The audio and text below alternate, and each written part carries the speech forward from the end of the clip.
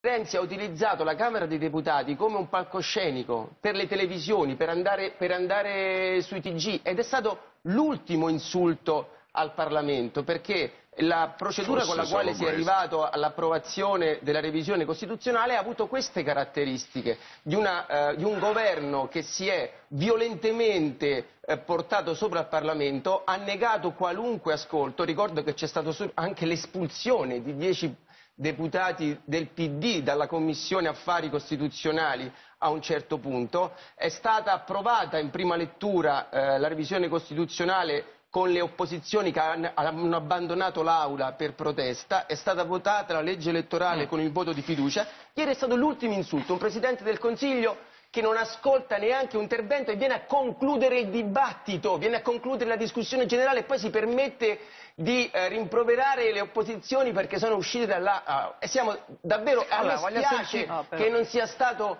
notato neanche sufficientemente dalla- dai commentatori, anche quelli Sui critici, giornali. perché è un decadimento della qualità delle nostre istituzioni Allora, che alla fine pagheremo Fedeli, tutti.